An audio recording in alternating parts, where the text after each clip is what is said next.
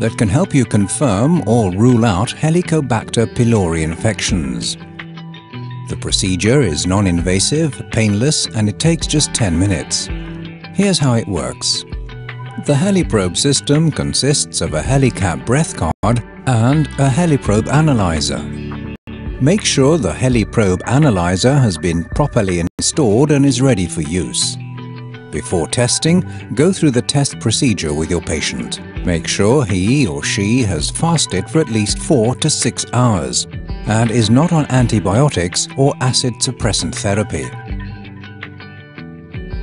Ask your patient to swallow one helicap together with some water. Then wait 10 minutes. Open the folio envelope and take out a breath card.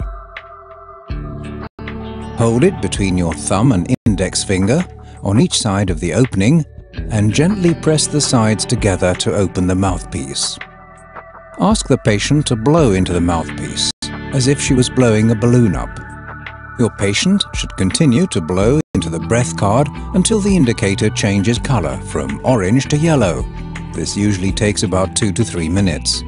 The patient can pause for air as needed, but should just blow, not inhale. Make sure the HeliProbe analyzer has been properly installed and is ready for use. Gently press the air out without touching the transparent test zone. Make sure the transparent film is not broken. Hold the breath card by the mouthpiece and insert it into the breath card slot on the front of the HeliProbe analyzer. Press the green button to begin the analysis and wait for the results. After approximately 4 minutes, the instrument will beep, indicating your results are ready.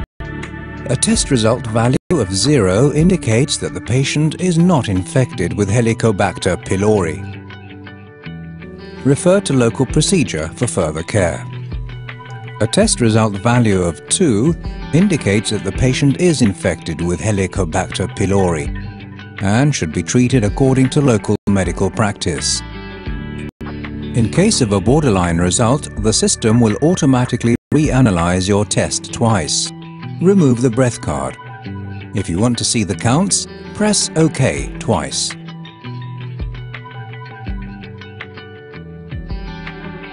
Insert the protection card. Remember to print or record the results for future reference.